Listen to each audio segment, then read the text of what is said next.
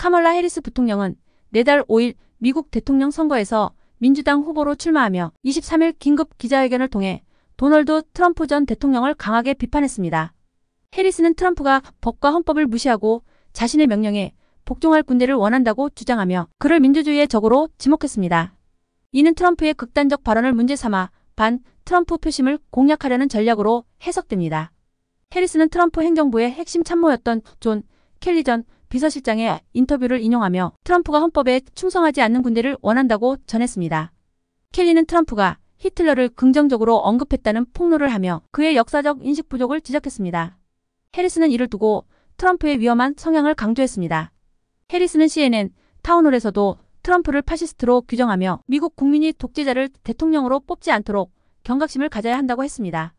또한 트럼프가 미국 시민을 적으로 간주하고 군을 동원하겠다고 한 발언에 대해 심각성을 언급했습니다.